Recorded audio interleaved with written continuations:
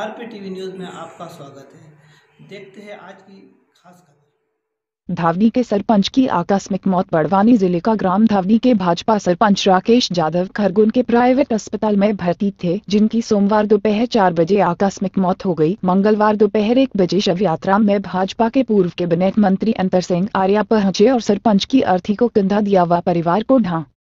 Dhas